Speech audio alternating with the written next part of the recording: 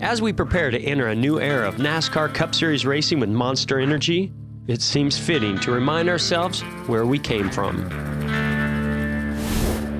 The vision of Bill France Jr. pushed NASCAR into the national spotlight by the time I made my debut in 1992 in what was then the Winston Cup Series, where I won four championships. NASCAR Winston Cup Series champions. My goodness. That's incredible. For three decades, the Winston Cup Series transformed the sport.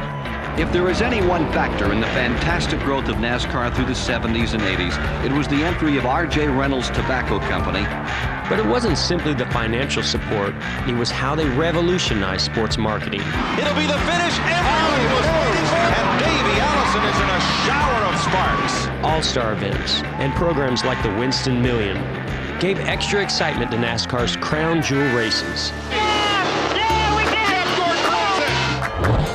At the turn of the century, the technology boom across the country influenced how NASCAR reached its audience. Nextel will promote our drivers, our teams, and tracks in all forms of media and to all NASCAR fans. Like Winston, Nextel actively developed new experiences for the sport. The point structure was redefined and a playoff system was created the chase.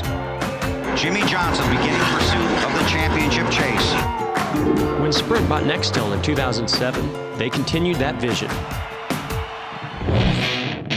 And now, the next chapter begins. A new race format, an emphasis on winning races, and a bonus point system that will reward drivers throughout the playoffs. I can't tell you what's next for the Monster Energy NASCAR Cup Series, but just do what I did. Buckle up, hold on tight, and enjoy the ride as the green flag waves on the new era in the sport I love NASCAR.